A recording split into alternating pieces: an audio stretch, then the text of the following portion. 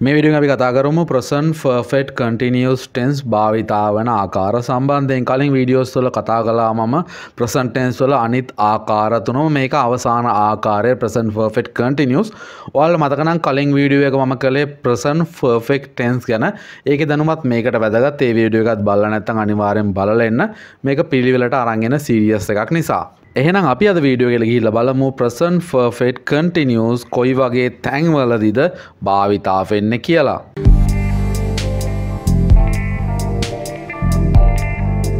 Number one පළවෙනි භාවිතය තමයි to say how long for unfinished action which started in the past and continue to the present.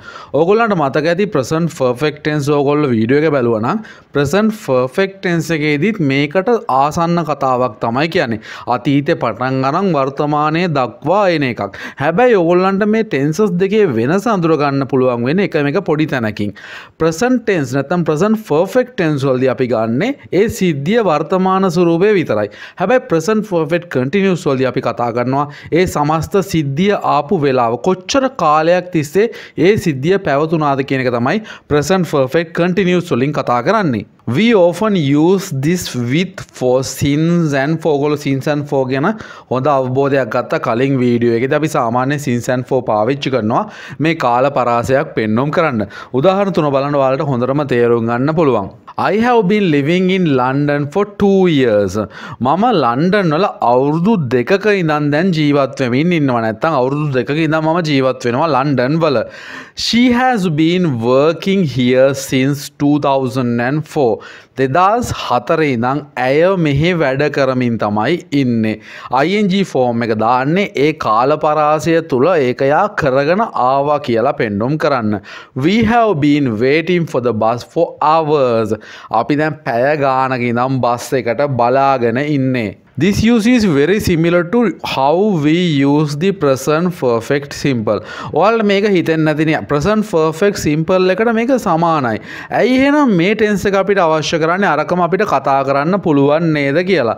And often it is possible to use either tense. ඒ වගේම මේක වෙනුවට ඒක පාවිච්චි කරන්න පුළුවන් අවස්ථා තියෙනවා.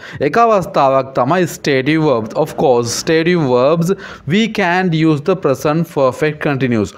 ඔයගොල්ලෝ දන්නවා stative ස්ටේටිව් වර්බ්ස් ING කරන්න බැහැ ඒක නිසා ප්‍රසන්ට් පර්ෆෙක්ට් කන්ටිනියස් යූස් කරන්න බෑ. ඒ වගේ තැන්වලදී කොහොමත් අපිට ප්‍රසන්ට් පර්ෆෙක්ට් තමයි පාවිච්චි කරන්න වෙන්නේ. උදාහරණයක් බලන්න. I have been here for hours. මම දැන් මෙහෙ පැය ගානක ඉඳන් ඉන්නේ. අපිට ඒක කියන්න බෑ. I have been being here for hours කියලා. Number 2 ඊළඟ භාවිතය තමයි for temporary habits or situation. తాවකාලික පුරුදු. ඒ වගේම අවස්ථාවලටත් අපි මේක පාවිච්චි කරනවා. The action started in the past and continues to the present in the same way as with the use number 1 කලින් අපි භාවිතය කතා කලා වගේම කතාවක් තමයි මෙතෙන්ද කියන්න. හැබැයි පොඩි වෙනසක් තියෙනවා. But we don't answer the question about how long slow clearly. හැබැයි අපි කලින් භාවිතයේදී මේකට කලින් භාවිතයේදී අපි කිව්වා හරියටම මෙන්න මෙච්චර කාලයක් අපි යන අවුරුදු දෙකක් යනවා. උදේ ඉඳන් ඒ වගේ අපි නිශ්චිත කාලයක් කියනවා. ඒ වෙනුවට මේකේ පාවිච්චි කරන්න recently කියලා. Recently කියන්නේ කලින් වෙච්ච මේ ආසන්න කාලෙ වෙච්ච කෙනෙකට තමයි අපි රීසන්ටලි පාවිච්චි කරන්න. උදාහරණය බලන්න. I have been going to the gym a lot recently. මම ජිම් එකට ගියා. නැත්නම් මම ජිම් එකට ගියා මේ ටික දවසක ඉඳන්. පොඩ්ඩක් කාලයකට කලින් ඉඳන්. They have been living with his mother while they look for a house. ඒගොල්ලෝ අම්මලත් එක තමයි එයාගේ අම්මත් එක තමයි ජීවත් වෙන්නේ. ඒගොල්ලෝ ගෙයක් හොයන අතරතුර. I have been reading a lot recently. මම ගොඩක් කියවමින් හිටියේ. ටික දවසකට කලින් නැතන් ටිකකට කලින්. Number 3 action which have recently stopped. මොකක් හරි ක්‍රියාකාරකමක් ටික දවස් ටික වෙලාවකට කලින් නැත්නම් ටික දවසකට කලින් පොඩ්ඩක් නැවතිලා තියෙන්නේ. Though the whole action can be unfinished. හැබැයි සමහර විට මුළු ක්‍රියාකාරකමම ඉවර වෙලා නොතිබෙන්න පුළුවන්. And have a result. අපිට ප්‍රතිඵලය ඒකේ තියෙනවා. ඒ වගේම which we can often see hear or feel in the present. අපිට වර්තමානයේදී ඇහෙන දැනෙන දකින දේවල් දේවල් තමයි මේකෙන් කියන්නේ. We don't use a time word here. අපි මෙතන time word එකක් කාලයක් පාවිච්චි කරන්නේ නැහැ. ඊයේද හෙටද ඒ වගේ yesterday tomorrow ඒ වගේ time එකක් පාවිච්චි කරන්නේ නැහැ. ඒ වගේ දේවල් කියන්නත් අපිට මේ usage එක පාවිච්චි කරන්න පුළුවන් මේ tense එක පාවිච්චි කරන්න පුළුවන්. උදාහරණ වලින් බලන්න ඔයාලට තවදුරටත් පැහැදිලි කරගන්න පුළුවන්. I am so tired. I have been studying. ඔයාලට මේ වාක්‍ය දැක්කහම මොකක්ද තේරෙන්නේ? I have been studying. මම ගොඩක් පාඩම් කරමින් හිටියේ I'm so tired. මෙතන කාලයක් ගැන ප්‍රකාශ කරලා නෑ හැබැයි මට මහන්සි. ඉතින් ඒ මහන්සිය තමයි මෙතන රිසල්ට් එක කියලා අපි කලින් කතා කළේ. ඒ රිසල්ට් එකට හේතුනේ මම ස්ටඩි කරමින් හිටිය නිසා.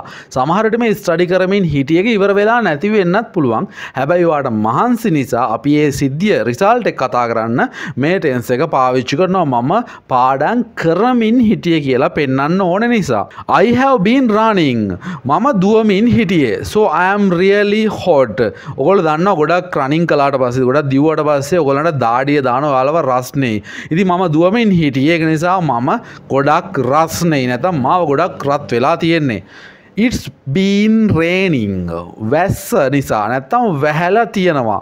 So the payment is wet ඔගොල්ලෝ දන්නවා වැස්සට පස්සේ ඔයගොල්ලන්ගේ ගෙදර මිදුල ඊට පස්සේ මිදුල වටේට තියෙන payment එක wet වෙනවා තෙත් වෙනවා. ඉතින් ඒකට ප්‍රතිඵලයක් විදිහට කියන්නේ වැස්සේ ප්‍රතිඵලයක් විදිහට තමයි ඒක වෙන්නේ. එතකොට වැස්ස එක තමයි continuous එකෙන් වෙන්නේ. ඒකේ ප්‍රතිඵලය තමයි අපි පෙන්වන්නේ මෙතෙන්දී. The present perfect simple has a very similar use. ඔයාලට මේ ටෙන්ස එක ඉගෙන ගත්තනම් මේ වෙනකොට වාල්ට හිතෙන්නෙම ප්‍රසන් ෆර්ෆෙක්් එකට මේක සමානයි කියල නේද? ඇයි ප්‍රසන් ෆර්ෆෙට් කටිනිියස් එකකුත් ඕනේ? අපි කතා කරමු. Which focuses on the result of the action?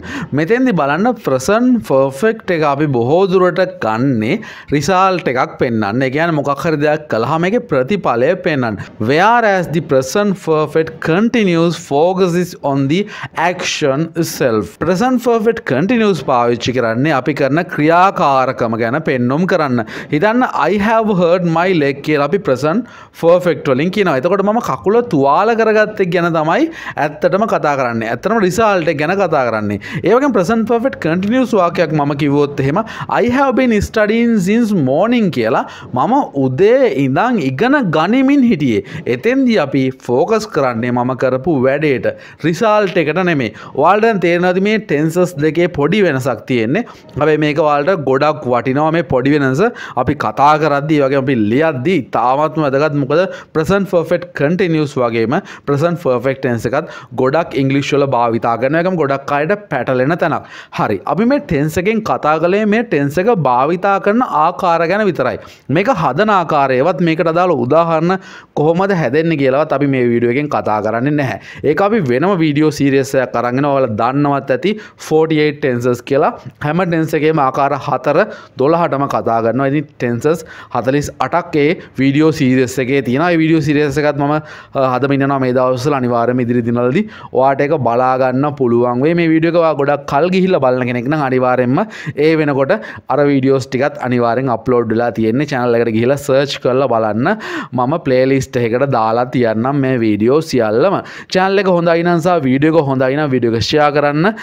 හොඳයි නම් වීඩියෝ එක share කරන්න. subscribe කරලා නැත්නම් අනිවාර්යෙන් subscribe කරලා bell icon එක click කරන්න. ඔයාට වීඩියෝස් හැමදාම බලා ගන්න අවශ්‍යයි නම්. එහෙනම් අදට ගිහින් යන්න හැමෝටම good luck. හැමෝටම good bye.